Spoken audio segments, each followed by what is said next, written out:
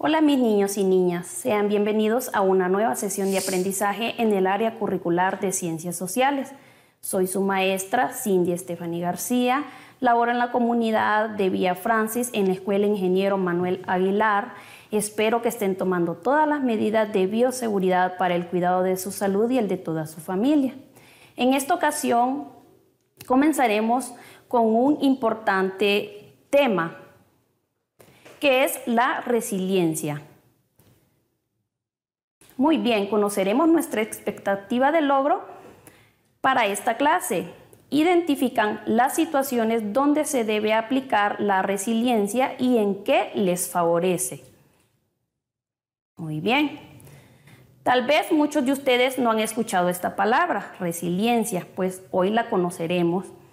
Y para eso vamos a recordar algunas palabras eh, para que podamos entenderle al tema. Como primer pregunta, que la contesten en sus hogares, es ¿qué es el bullying? Creo que muchas veces nosotros, eh, bueno, ustedes han sido víctimas del bullying, ¿verdad? Que es cuando un compañerito molesta a otro sin tener alguna razón y que no tienen razón para molestarles, ¿verdad? La siguiente, ¿qué es el autoestima?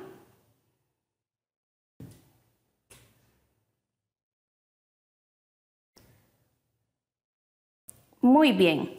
La otra es si nosotros sabemos qué es la psicología.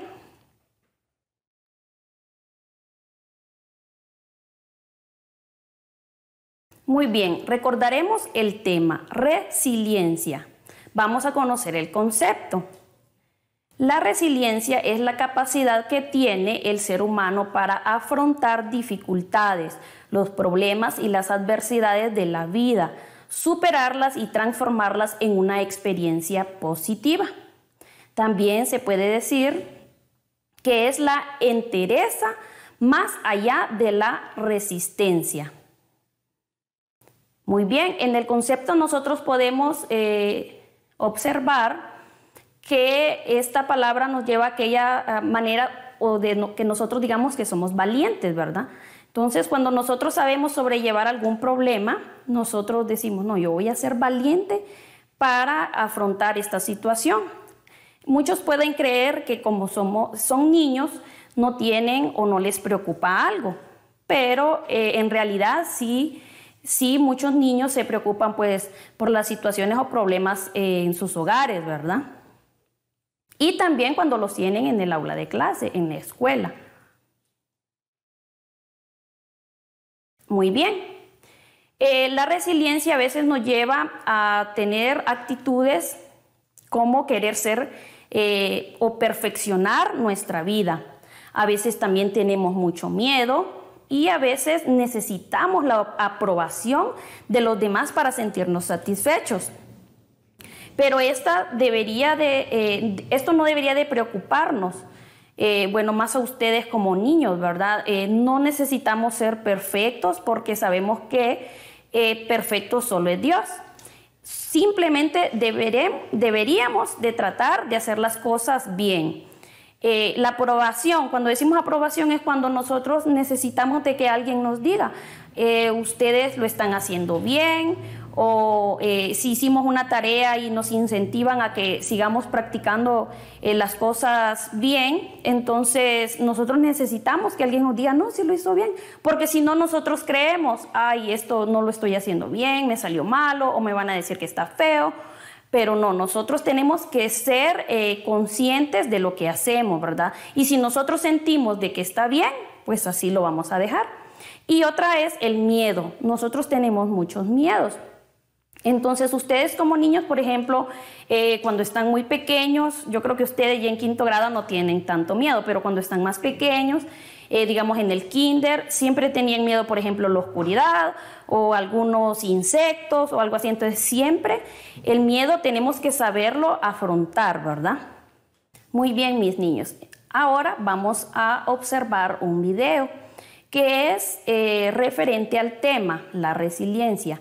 Entonces, eh, espero que pongan mucha atención y si tienen su cuadernito ahí, anoten las cosas que ustedes observan. Eh, este video es acerca de una niña que se llama Paola, entonces ustedes van a conocer a Paola.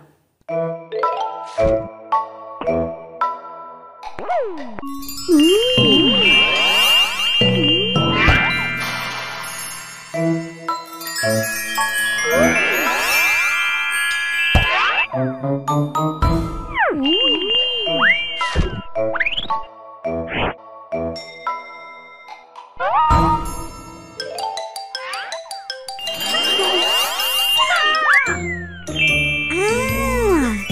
trata de emociones que se están escapando de las historias. Déjenme explicarles qué está pasando. Paula es una niña que a menudo se siente angustiada y no sabe qué hacer. Cuando siente angustia, parece que su corazón late más rápido y no puede respirar. Sus manos empiezan a sudar y ella siente como que no puede moverse. Esta emoción que siente Paola es una sensación desagradable que ella tiene que aprender a manejar para que esté mejor. ¿Ustedes creen que ella lo podrá hacer? Vamos a escuchar su historia. Déjenme contarles una historia. Había una niña que se llamaba Paola a la que muchas cosas le salían mal. Todo se complicaba cuando ella pensaba que su maestra le iba a preguntar algo o cuando ella sabía la respuesta en clase y quería responder pero no se atrevía a levantar la mano o hablar. Cuando su maestra le preguntaba algo, ella se quedaba callada y algunos niños se reían de ella. Ella se ponía muy triste cuando esto pasaba. Sus amigos se preocupaban por ella y la animaban a que contestara, pero ella prefería no intentarlo. Un día su maestra contó la historia de los niños del espejo, en la que los niños tenían problemas, pero ellos se veían a sí mismos logrando lo que deseaban. Estos niños tenían diferentes problemas, o se quería sacar buenas calificaciones, pero se distraían en clase y luego no entendían nada. Por ello, sacaba malas calificaciones. Así que empezó a prestar atención en clase, a hacer sus tareas y poco a poco mejoraron mucho sus calificaciones. Lena les gritaba a todos y les pegaba. Ella aprendió unos ejercicios de respiración para manejar el estrés que sentía y tranquilizarse. Paola se preguntó qué podría hacer ella para resolver sus problemas de tener miedo a hablar y de angustia y se dio cuenta de que los ejercicios de respiración la podían ayudar a ella también. Empezó a practicar los ejercicios de respiración cuando su maestra se acercaba o cuando iba a levantar la mano y a responder poco a poco ella pudo hablar y contestar en clase. Ella se dio cuenta de que los niños que se reían de ella quizá no sabían que la lastimaban con sus burlas, pero que ella tenía amigos que la animaban para que respondiera. Sus amigos la querían y eran muy buenos amigos, ayudándola siempre.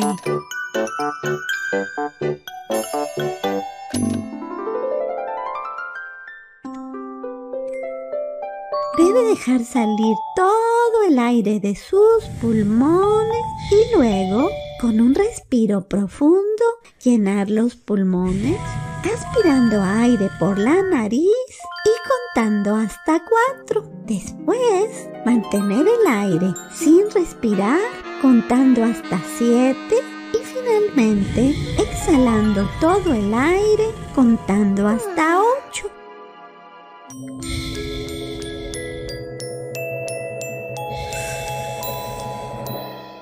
Muy bien, mis niños, pudimos observar en el video que estaba una niña que se llama Paola.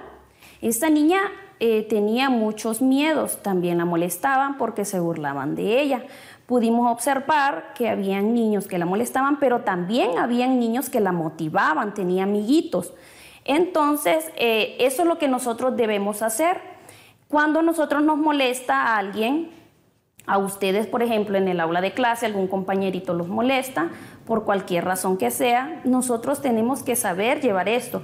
Primero tenemos, si ya es demasiado o si llega a agresiones, como que me los golpeen, entonces allí nosotros tenemos que decirle a la maestra.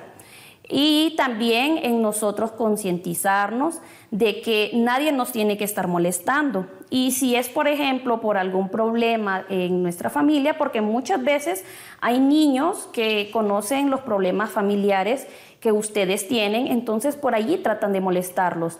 Entonces ustedes no deben dar cabida a, a estos niños para que los estén molestando. Y si pudieron observar, la niña, luego de que sus compañeritos, sus amiguitos le dieran palabras de aliento, jugaran con ella y le demostraran que ella podía eh, sobrepasar esos problemas, eh, ella estuvo muy bien y muy contenta, ya no necesitó de, nada más, ¿verdad? Entonces, esto es lo que nos enseña la resiliencia. Nosotros tenemos que saber afrontar nuestros problemas. Eh, y no preocuparnos eh, por lo que esté pasando, simplemente buscar una solución. Vamos a poner un ejemplo pequeño. Por ejemplo, si en nuestra casa eh, vamos a hacer una tarea y no tenemos los materiales necesarios, pues nosotros buscamos en nuestro alrededor qué cosas nos pueden ayudar. Entonces, allí nosotros qué estamos haciendo? Estamos resolviendo nuestro problema. Muy bien, entonces ahora eh, conoceremos algunas características eh, de una persona resiliente. La primera es, dice, curiosidad, interés por el mundo. Estas personas, estos niños, eh, cuando tienen esa curiosidad, por ejemplo, ustedes cuando quieren saber algo eh, sobre alguna, por ejemplo, algún tema, y que a ustedes les llamó la atención, entonces buscan información para enriquecer sus conocimientos. Y eh, la, dice interés por el mundo, es cuando nosotros queremos saber qué hay a nuestro alrededor. Entonces, eh, estas son características muy importantes de las personas resilientes. Muy bien, la siguiente es amor por el conocimiento y el aprendizaje. Es bien relacionada a la anterior puesto que nosotros cuando queremos saber más, nosotros buscamos información. Entonces, eh, así nadie nos va a poder engañar, por decirlo así, ¿verdad? Y el interés por el aprendizaje, cuando nosotros nos enfocamos en querer aprender, en querer saber más, y eh, de esta manera nosotros eh, sabemos que nadie nos va a decir esto no es así, porque con anterioridad nosotros ya lo hemos investigado. La siguiente, juicio, pensamiento crítico, mentalidad abierta. Juicio es cuando nosotros, si creemos algo, nosotros así lo mantenemos. Nosotros decimos, eh, de esta manera lo veo yo o de esta manera lo creo yo. Y nadie nos va, a cambiar de, de esa opinión o de ese juicio que nosotros tenemos. Eh, el pensamiento crítico es cuando nosotros, eh, por ejemplo, si podemos ver eh, cuántas cosas han pasado ahorita en nuestro país, entonces nosotros podemos ver en el ámbito de, salud, por ejemplo, podemos decir nosotros, yo creo que pudieron haber hecho las cosas de una mejor manera o de esta manera hubiese sido mejor. Entonces ahí nosotros ya estamos teniendo un pensamiento crítico porque estamos dando una opinión acerca de algo que se pudo mejorar. Y eh, mentalidad abierta. Es cuando nosotros debemos aprender a, eh, perdón, a recibir las opiniones de los demás, las ideas de los demás. Entonces, eh, de esta manera nosotros vamos a, a tener una mentalidad abierta cuando estemos de acuerdo con las ideas de las demás personas, obviamente no, no nos va a perjudicar a nosotros si nosotros creemos que no, no es importante, pero sí la vamos a tomar a cuenta. Eh, la siguiente dice ingenio, originalidad, inteligencia práctica. El ingenio es cuando nosotros creamos, cuando eh, digamos en artística, cuando llevamos la, la clase artística, nosotros eh, decimos, yo puedo mejorar esto, no tal como me lo pidió la maestra, sino yo puedo hacerle estos otros arreglos. Entonces, de esa manera nosotros estamos teniendo ingenio. otra originalidad, cuando nosotros le ponemos aquella cosa eh, diferente a lo que estamos haciendo. Entonces, que sabemos que nadie más lo va a tener porque nosotros lo pensamos. Eh, inteligencia práctica es cuando nosotros llevamos mm, lo que queremos, lo que tenemos en nuestra mente, lo llevamos a hacer. Es cuando ya nosotros, eh, digamos, tenemos una idea, por ejemplo, cómo hacer un o pintar un árbol, entonces, eh, lo tengo en mi mente, pero lo llevo a la práctica, lo hago. Entonces, de esa manera estamos practicando, ¿verdad? Y la perspectiva eh, es la siguiente, es cuando nosotros tenemos, eh, queremos hacer algo y lo tenemos, ya lo mencionaba anteriormente, lo tenemos en nuestra mente y lo, vemos como a futuro, cómo va a quedar hecho esto. Entonces, nosotros ya estamos viendo más allá de lo que tenemos en, lo físico, ya lo tenemos en nuestra mente y lo llevamos a la, práctica. La siguiente, perseverancia y diligencia. Cuando nosotros no nos damos por vencidos, cuando algo nos sale mal, nosotros empezamos a intentarlo, intentarlo, hasta que lo logramos y lo hacemos bien. Y la diligencia es cuando nosotros hacemos las cosas eh, rápido, ¿verdad? No estamos esperando que nadie nos venga a hacer nada, porque nosotros ya tenemos, eh, ya sabemos cómo hacerlo, entonces lo hacemos eh, rápido. la siguiente, autocontrol y autorregulación. El autocontrol es cuando nosotros tenemos eh, nos controlamos a nosotros mismos. Por ejemplo, eh, ya ponía anteriormente un ejemplo de la violencia en, en, las aulas de clase o en la escuela, cuando un niño molesta a otro y eso. Entonces, muchas veces nosotros reaccionamos enojados y queremos hacerle lo mismo a los niños porque, ay, es que él me golpeó. No, entonces nosotros tenemos que saber controlarnos. No sé si ustedes han escuchado que a veces le dicen a uno respire profundo, no se enoje. Bueno, entonces eso es tener autocontrol. Nosotros tenemos que aprender a hacer eso. Hacer eso. Eh, la otra dice autorregulación. Bueno, es bien parecida. Eh, de esta manera nosotros vamos a tratar de eh, no hacer, por ejemplo, las cosas muy grandes o un problema pequeño, nosotros lo vamos a hacer muy grande. No saber la magnitud del problema y conocer la magnitud del problema. de esta manera nosotros nos, nos eh, autorregulamos. La siguiente, que eh, es una pregunta, ¿verdad? ¿Qué necesitas para ser una persona resiliente? Muy bien. La primera, y que podemos observar ahí en la imagen, autoconocimiento. Si nosotros vemos muy bien esa imagen, podemos ver que es un niño que se está viendo en un espejo. Muy bien, ese niño se está conociendo. Nosotros, eh, si lo vemos de esa manera, nosotros decimos, ah, pero es físicamente. No, nosotros tenemos que conocernos también con, eh, por dentro, por, eh, por decirlo así, cómo somos, cómo nos comportamos, todo eso, cómo nos sentimos, todo eso debemos conocer. Entonces, el autoconocimiento es saber hasta dónde nosotros podemos llegar o podemos aguantar alguna situación. Este niño en la imagen, que vemos en la imagen, pareciera que el que está en el espejo está señalando al otro, ¿verdad? Entonces como que le dices, sí, sos vos o algo así. Entonces eh, nosotros tenemos que eh, fijarnos y conocernos muy bien para que nadie nos venga a decir después, ah, vos sos de tal manera, pero nosotros tenemos que saber muy bien y conocernos muy bien. Ya lo mencionaba antes, lo que nosotros creemos, lo que nosotros sentimos, eso solo nosotros lo conocemos. Muy bien, la siguiente es motivación. También podemos observar en la imagen un niño que va escalando. En el primer escalón dice, no puedo hacerlo. Es cuando ustedes dicen y se quieren dar por vencidos, es que yo no puedo hacer ese trabajo o yo no puedo eh, arreglar esto cuando descomponemos algo. Eh, entonces nosotros decimos, no, no puedo, no puedo. Eso nosotros no lo estamos creyendo. Pero si vemos, este niño sigue y avanza al siguiente escalón y dice, quizás pueda hacerlo. Empieza a, a creer en sí mismo, en que sí puede resolver cualquier situación. En la siguiente intentaré hacerlo. Ahí ya intenta hacer lo que él creía no poder hacer antes. La siguiente, que es en el escalón donde va, él dice, yo puedo hacerlo. Ya lo dice con seguridad. Él está creyendo en él, se está motivando a sí mismo.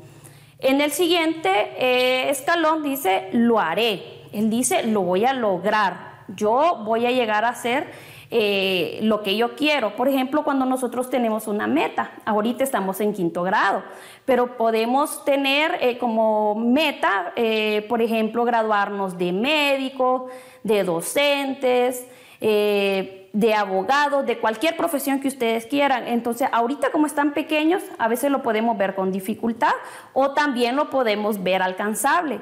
A medida va pasando el tiempo, nosotros podemos ver que es un poco difícil, pero no imposible porque sí lo podemos lograr. Entonces este niño va hacia, el siguiente escalón y dice, lo estoy haciendo. Él cree, ya puedo hacerlo, ya lo está logrando.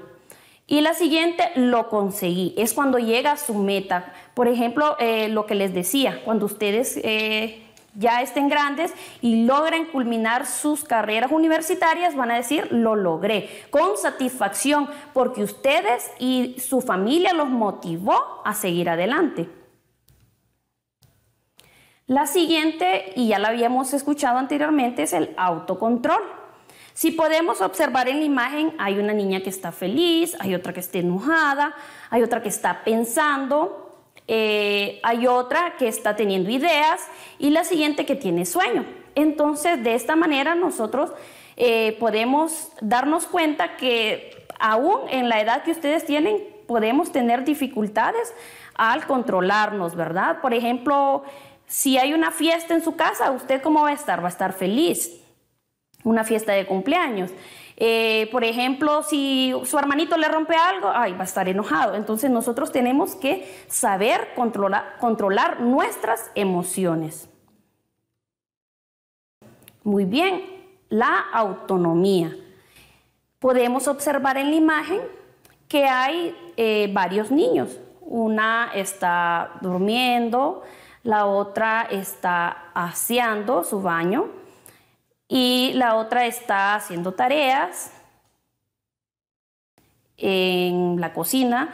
La otra está en su habitación, también está haciendo algo. El siguiente está caminando, yendo como para la escuela, podemos decirlo. Y el siguiente está jugando. Entonces eh, es cuando nosotros no necesitamos, autonomía es cuando nosotros no necesitamos que alguien más nos ayude. Por ejemplo, nosotros podemos tender nuestra cama, Ustedes ya están grandes para poder tender su cama. El siguiente niño pues ya está listo para, puede ser para darse un baño y él lo hace. Ya no necesita que su mamá lo, bañe, ¿verdad? Y la siguiente, creo que si está en la cocina y ella está haciendo algo, puede ser eh, haciéndose o preparándose eh, un emparedado. Eh, la siguiente está trabajando, puede ser ustedes cuando hacen su tarea y saben sobre el tema y vieron la clase, entonces no necesitan la ayuda de su padre, ustedes pueden solitos. Y el siguiente pues ya está listo para ir a la escuela o se va para la escuela y ya no necesita también que lo acompañen. Y el siguiente pues está jugando o está ordenando sus juguetes y también ya no necesita que le ayuden. Esa es autonomía, poder hacer nosotros mismos las cosas. La siguiente es la confianza. Es cuando nosotros creemos en nosotros mismos y lo que podemos llegar a hacer o lograr. Eh, confiar también en nuestros amigos, en nuestros padres. Cuando nosotros tenemos un problema o nos sentimos de alguna manera, es importante que le, le hagamos saber a nuestros padres. De esa manera también estamos dándole confianza a nuestros padres, contándole las situaciones o lo que nosotros estamos pasando. Entonces es muy importante la confianza, pero principalmente en ustedes mismos. La siguiente es la empatía. Podemos ver y observar a varios, bueno, a tres niños que están platicando. Uno está detrás de la cerca y los otros están enfrente. ¿Qué significa la empatía? Significa eh, que nosotros podemos eh, compartir con los demás compañeros. Nosotros, eh, si es un compañerito nuevo o llegamos a una nueva escuela, a veces nos sentimos extraños, pues no conocemos a los nuevos compañeros, ¿verdad? Pero siempre hay niños que llegan y nos hablan, entonces ahí nosotros ya nos sentimos bien. Esos niños eh, nos ayudan a que nosotros nos sintamos bien en esa nueva escuela. Esa es la empatía, nosotros poder platicar, ayudar, darle confianza a, un nuevo compañerito o a todos los compañeros.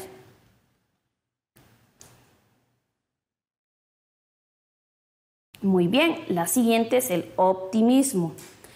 Podemos observar en la imagen que hay un semáforo de caritas. La primera eh, es una roja y está como enojada, de color rojo. La, o triste o enojada. La amarilla está normal, no tiene ninguna satisfacción o, no, eh, no hay ningún gesto en ella. Y la primera está muy feliz, entonces significa que lo logró, ¿verdad? el optimismo es cuando nosotros nos mm, parte de la motivación y nos sentimos satisfechos por lo que ya hemos logrado. Y podemos ver a la niña que está muy feliz porque ella se siente optimista, con ganas de aprender, con ganas de seguir. Así debemos sentirnos nosotros con estas clases, ¿verdad? Porque si bien no es igual, nosotros tenemos que hacerlo. Muy bien, entonces vamos a conocer dos temas eh, muy importantes que son los juegos para practicar la resiliencia, si se pudiera ver lo que está en mi cabeza. Ese juego lo podemos hacer en nuestros hogares. ¿Cómo lo haremos en nuestros hogares?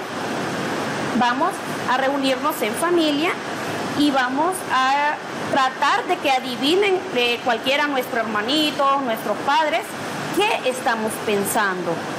Puede ser de la manera que ustedes se sienten, pueden decirle a su madre o a su padre o a sus hermanos, ¿cómo crees que me siento hoy? Les puede preguntar. Eh, y de esa manera todos se van rotando y así se conocen y saben qué es lo que están pensando y qué es lo que están sintiendo. Muy bien, el siguiente es mi reflejo. Podemos observar en la imagen que hay un niño que en el espejo él se ve como un superhéroe.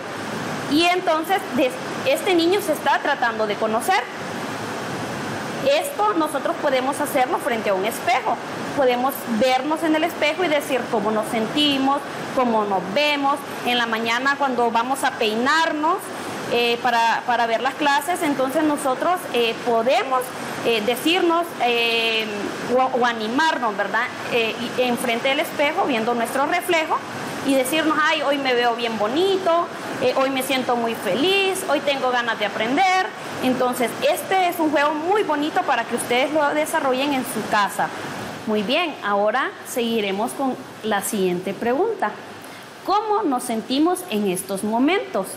Sabemos que en estos momentos tan difíciles que estamos pasando por la pandemia del COVID-19, podemos sentirnos eh, tristes, eh, nos podemos sentir, bueno, podemos observar en la imagen que hay varias eh, caritas que nos indican algunos sentimientos, ¿verdad? podemos también sentirnos enfermos, podemos sentirnos somnolientos, que tenemos sueño por solo estar encerrados. Pero también tenemos que eh, pensar en qué cosas podemos hacer para pasar este tiempo. Eh, primero recibir sus clases, eh, luego hacer sus tareas y pues buscar juegos para entretenernos con nuestros hermanitos o nuestros padres en los momentos que ellos se encuentren en casa. nosotros tenemos que pensar que esta situación pronto va a pasar. Y también tenemos que saber que si no es así, tenemos que seguir recibiendo nuestras clases y sintiéndonos bien. No nos pongamos tristes, porque si no las cosas se empeoran. Eh, también eh, podemos observar en la siguiente imagen eh, un niño, ¿verdad? Que está con su mascarilla y, y si la observamos muy bien, podemos ver que también a su osito de peluche le puso una mascarilla. Entonces vamos a leer la pregunta y dice, ¿qué pensamos del confinamiento? Confinamiento es en esta situación que estamos ahorita, que no podemos salir de casa, no podemos ir a la escuela, no podemos ir nosotros al supermercado, al parque a jugar o a visitar a la abuelita. Entonces, ese es el confinamiento y esto nos trae a veces mucho estrés. ¿Por qué? Porque no podemos salir a divertirnos como antes. Pero también tenemos que tomar muy en cuenta que lo hacemos por nuestra salud y tenemos que pensar positivamente para que esto no nos afecte. Eh, la imagen nos dice mucho, ¿verdad? Que el niño eh, también está protegiendo a su osito de peluche, que es con quien él está en su habitación. Eh, y en su casa, es con quien juega. Entonces nosotros recordemos que siempre que llegue alguien extraño a nuestra familia o a veces que nos lleven las compras, nosotros tenemos que estar con nuestra mascarilla, ¿verdad? Y no tocar las cosas cuando las llevan del supermercado o cuando alguien nos eh, va a dejar alguna cosa, nosotros no debemos tocarla sin antes limpiarla. Muy bien, entonces vamos a realizar una serie de actividades en nuestros hogares. La primera dice, realice actividades que aumenten la resiliencia en ustedes.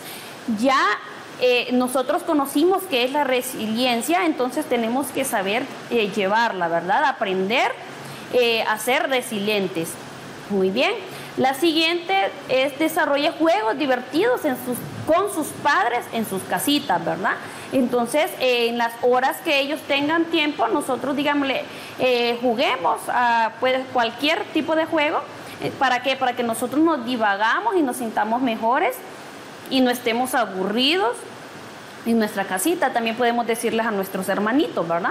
Y también les mencioné algún tipo de juego que ustedes pueden realizar en sus hogares con sus padres. Muy bien, y no nos vamos sin antes recordar que debe de tomar todas las medidas de bioseguridad para el cuidado de su salud, el uso de mascarilla, el lavado frecuente de manos, no saludar de mano ni de beso. También tenemos que eh, aprender a no estar tocando las cosas, como antes les decía, y a limpiar el área donde nosotros vamos a trabajar, tener eh, el distanciamiento de al menos un metro entre las personas ¿verdad? Por si llega alguien a nuestra casa o no estar allí, estar en nuestras habitaciones y pues recordarles esto a, sus padres, ¿verdad? Cuando salgan. Y también eh, quiero decirles, ¿verdad? Que no nos debe preocupar lo que está pasando, simplemente debemos cuidarnos y recuerden que los queremos estudiando en casa. Dios les bendiga.